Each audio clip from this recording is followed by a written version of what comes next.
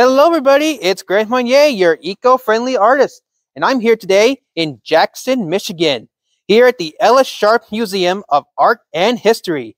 We are having the Horizon Art exhibit here at the museum, where my art will be proudly displayed along with other artists who have special talents like me. I'll also be teaching a class how people can use my art techniques to create their own eco-friendly art. So come on, let's go check it out.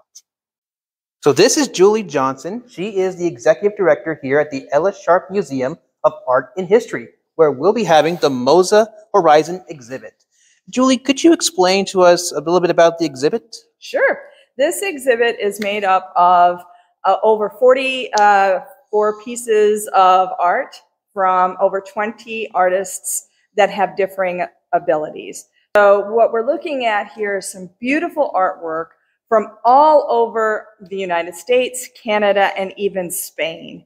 And these pieces just draw you in and really want you to look at them and, and look at the, the fact that the artist has their own stories next to each piece and why they made this piece of work.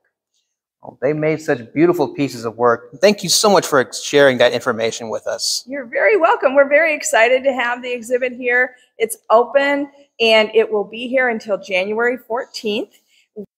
Hey, look what's here. You want to explain this, Julie?